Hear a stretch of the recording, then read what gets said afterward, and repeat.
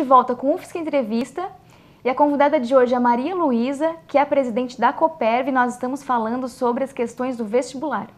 Então, vamos falar sobre a, sobre a taxa é, da inscrição, né? Quanto custa e como funciona se o candidato não tem condições financeiras. Tá, então a taxa Sim. permaneceu no valor do ano passado, uhum. 125 reais. Uhum. O candidato tem chance de pedir isenção da taxa de 5 de setembro a 25 de setembro. Porque no dia 28 vai ser disponibilizado quem teve direito a ganhar e quem não teve. Então ele ainda tem do dia 28, quando for divulgado, ou 29, até o dia 4, para ver se consegue Tá? Ele efetiva a inscrição e paga no dia 5. Uhum. É, pagando é que ele vai efetivar.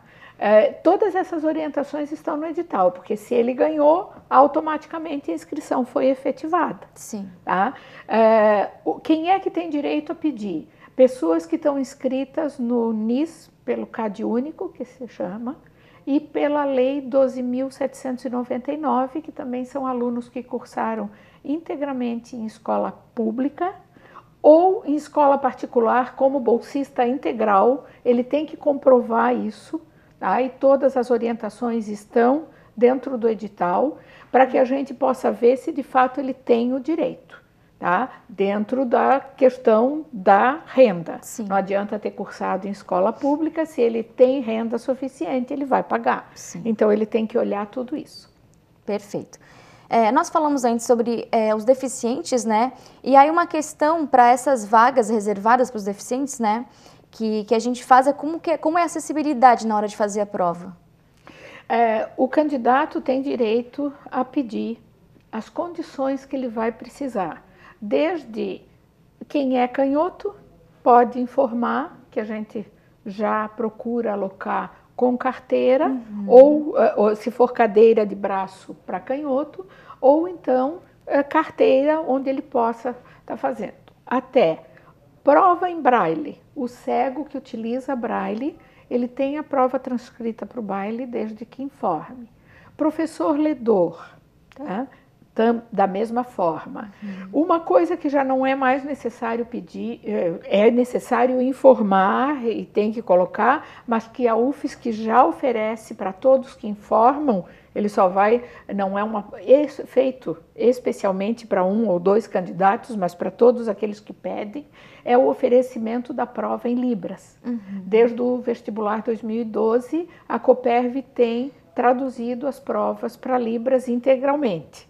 Então, o candidato basta informar, colocar, porque já não é especial. Por exemplo, o Braille só vai ser feita a prova se tiver algum candidato que peça. Sim. A da Libra já é feita, já faz parte, inclusive o edital, tá?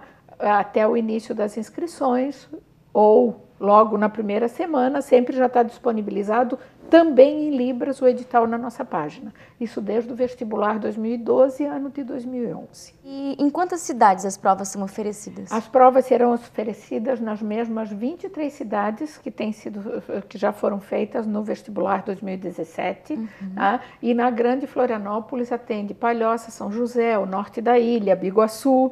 Então, de acordo com as inscrições, a gente vai ver todas as escolas que serão oferecidas na Grande Florianópolis. Uhum. E para o dia das provas, então, que recomendações assim daria para as pessoas prepararem, né? O que levar, o que não levar? É, eu antes do dia das provas, se me permite, Tassiane, eu acho que é importante o candidato lembrar assim de algumas coisas agora. É, focar nos estudos, fazer a leitura das obras literárias que muitas vezes eles acham que é, deixa as obras literárias, alguns até acham um resumo eu resolvo. O resumo traz pontos principais. Na, quando a gente disponibiliza as obras literárias, a listagem, uhum. a gente coloca ali que é importante a leitura integral das obras, porque pode ser questionado toda a parte sócio-histórico-cultural tá? Da, em que a época, eh, da época em que a obra foi escrita. Uhum. Então, o que, que acontece com isso? Pode estar em qualquer disciplina, seja ela história, geografia, biologia, às vezes até a matemática ou a química tem algo que envolve aquela. Então, isso é bem importante. Uhum. Específico do dia das provas, eles já podem começar a marcar, ver no edital não, não levar nada, iPad, iPod, tudo isso é proibido. Uhum. Então, se puder não levar, é melhor. O celular, não portar celular, tá? levar caneta é, com é, transparente, uhum. fabricada em material transparente, tá?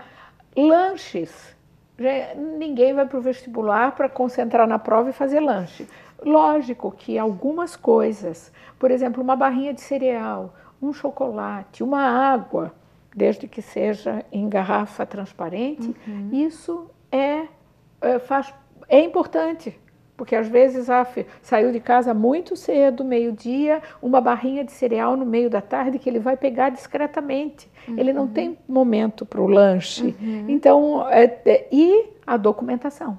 Uhum. Aquilo que fez de inscrição, leve esses documentos, porque o fiscal vai pedir na hora e ele vai ter que comprovar que é ele mesmo. Isso é uma questão de segurança que é importante para cada candidato que uhum. é, fez e pagou sua inscrição. É o comprovante de pagamento e identidade. E né? a identidade. Tem a questão do.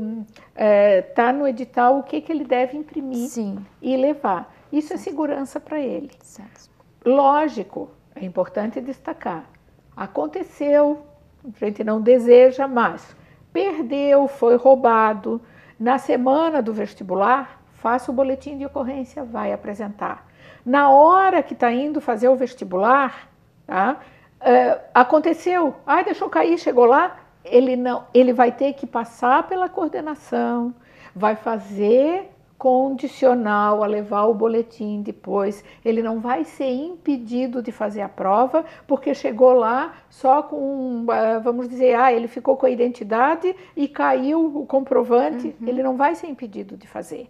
Ele olhe no edital que ali tem tudo que ele deve fazer se acontecer alguma coisa inesperada, desagradável, tá?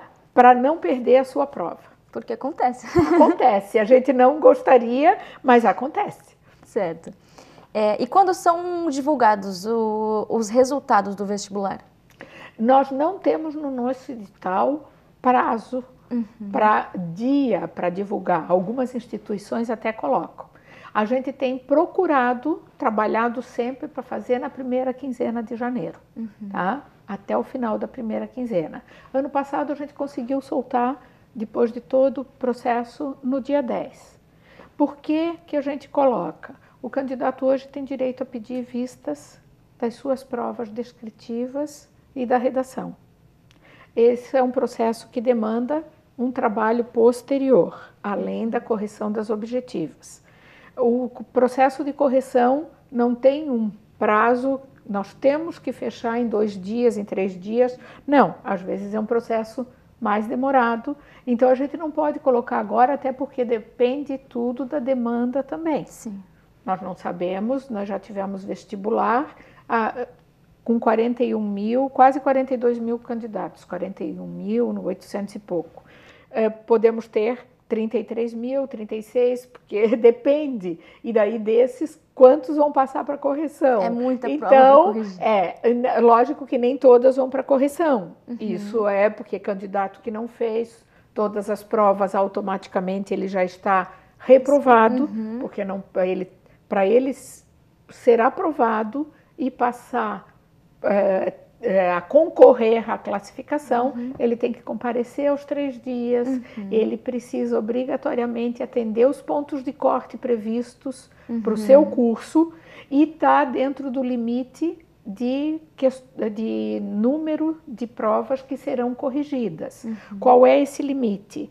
Para a medicina, por exemplo, para todos os cursos acima de cinco candidatos vaga, se faz até 500 provas. Então, os 500 que estão com pontuação mais alta é que terão as provas corrigidas. corrigidas. E aí a gente não sabe o número. Sim. que vai corrigir. Então, isso não se dá um dia.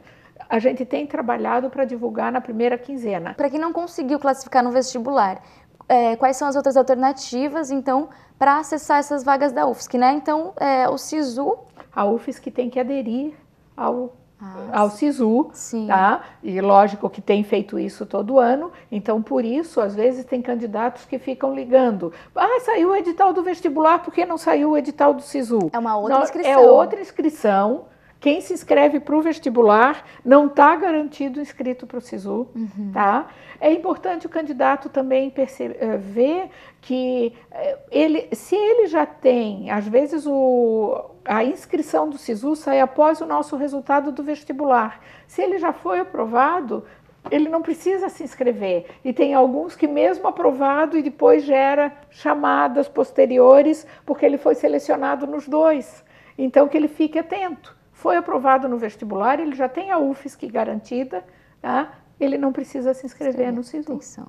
Então tá, tá, são essas as questões. Muito obrigada. Eu é que agradeço. Presença. Importante a gente estar tá divulgando o trabalho que está fazendo para termos os novos alunos de graduação entrando em março de 2018. Então tá. Agradeço bastante. Obrigada. Se quiser tá. deixar mais alguma dica importante aí para os candidatos. Olha, estudem, porque a UFSC, como é o nosso mote de campanha esse ano, é um mundo de possibilidades que não fica só restrita à universidade, mas abre para o mundo mesmo. Então, se tem vontade, não desista e siga estudando até a data do vestibular.